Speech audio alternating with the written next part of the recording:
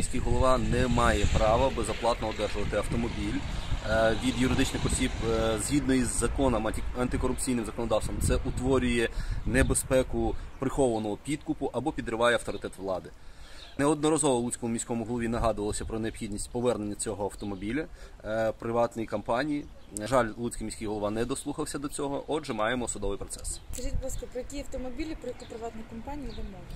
Е, Компанія Дзов е, Бріз ЛТД, компанія, яка пов'язана рядом угод і тривалою господарською практикою з групою компаній Continuum. Автомобіль Hyundai Sonata е, 6420, на якому яким користується Луцький міський голова.